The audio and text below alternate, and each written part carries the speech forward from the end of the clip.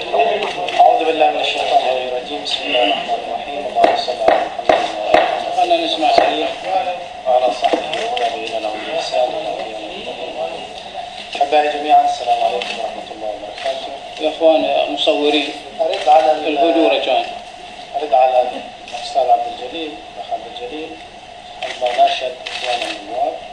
وأقول لا إخوانكم النواب رجال وعلى قدر المسؤولين ارفع الصوت لو سمحت يا شيخ جرب هذا الميكروفون جربك متى استعمال التليفون ما يسمع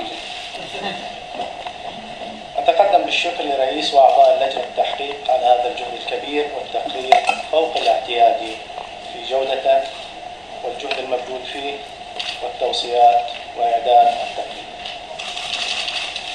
أقدم كلامي بأن الكلام الذي سيأتي أنطلق فيه من مبدأ النصيحة لمن يتحمل المسؤولية ومن منطلق مسؤوليتنا البرلمانية والوطنية ومن انحياز كامل للإصلاح هذا الانحياز الذي يفرض علينا يفرضه علينا ديننا وولاؤنا للوطن والذي يجعل من مواقفنا في كثير من الأحيان في مواجهة دائمة مع الأشخاص والجهات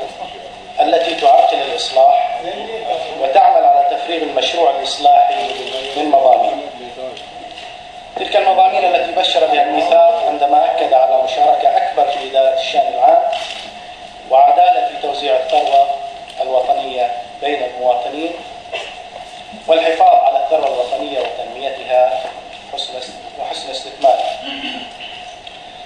هذا التقرير المقدم من اللجنة. سلط الضوء على قضايا عديدة لا يمكن في هذه المداخلة المحدودة أن أستعرضها جميعا لذا سأختار خمس نقاط. مستلة من هذا التقرير. وأحاول أن أتجنب أي نوع من الإثارات. كتبت كثير وعندما أخذ القلم نوع من الإثارة حاولت أن أبتعد عنها. رغبة في البقاء في المضمون أكثر من أي نوع من أي إثارة يمكن أن تطرح على الكلام.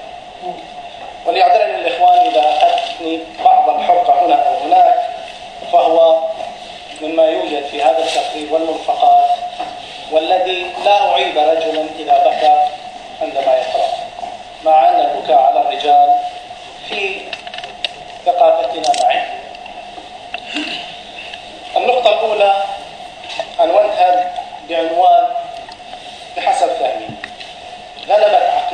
رئيس الشركة على عقلية مسؤول الدولة.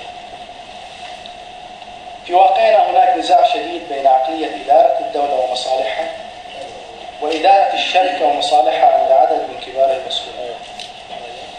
يظهر ذلك جليا في عقار مدينة المحرق الإسكاني وعقار المركز المالي وعقار شاطئ السنابس وعقار شمال كرانة وغيرها من العقارات.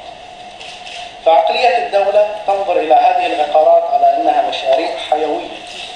تساعد الدولة في القيام بمهامها من توفير على سبيل المثال في عقار المحرق من توفير 15 ألف وحدة سكنية لقاطني هذه المدينة مما يعني في حساب أهل البحرين مع خدماتها الكاملة مما يعني في حساب أهل البحرين الأسرة المكونة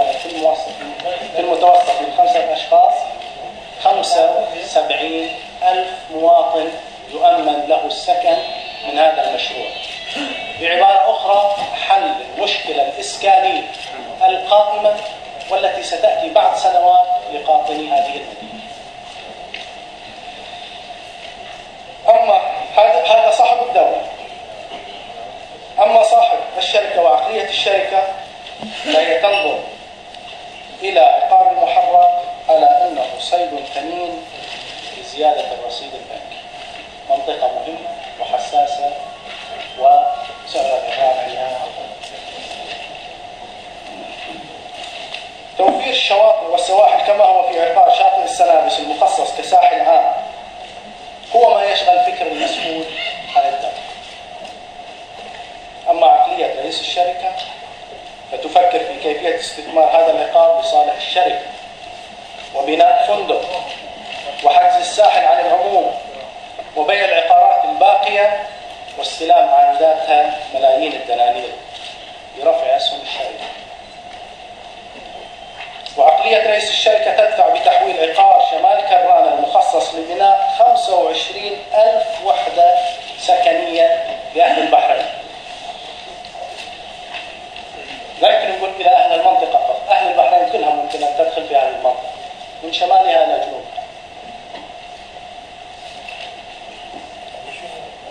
25 ألف وحدة سكنية إلى تتحول إلى أراضي استثمارية يتم بيعها على شركات والحصول على مليارات الدنانير في هذه المنطقة. سعر القدم اللي يقولون ما أعرف السوالف.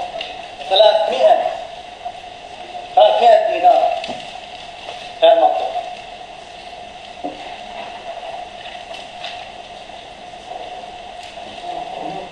وعلى هذا المنوال تم التعاطي مع الأراضي المخصصة في بحرين بي والأملاك المحيطة بالشمالية وغيرها مما هو موثق في هذا التقرير ولقد الدستور في المادة 98 ووفق القانون عندما منع أن يرأس الوزير فضلا عن رئيس الوزراء أي شركة أو أن يسهم أي مسؤول في التزامات تعقدها الحكومة أو المؤسسات العامة. يمكن أن يعود عليه أو على أحد أقاربه حتى الدرجة الرابعة بأي نوع من النفع.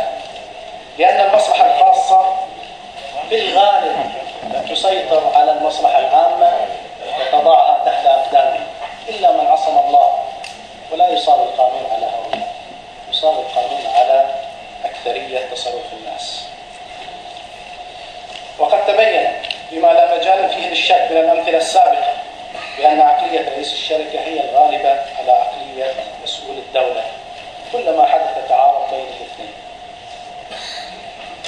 ومما يزيد القلب أسى من هذا الأمر كان سائدا قبل الإصلاح ومستمر حتى اليوم وأحسب أن هذا الاستمرار يعود إلى وجود إلى عدم وجود فصل حقيقي للسلطات وإلى ضعف الأجهزة الرقابية في نظامنا وللخروج من هذه الحالة المزرية علينا تقوية الدور الرقابي لمجلس النواب وإلحاق ديوان الرقابة المالية به وإعطاء القضاء الاستقلال التام وفصل السلطات فصلا حقيقيا. وإلا فالخيار الآخر هو استمرار تحكم عقلية رئيس الشركة في مقدرات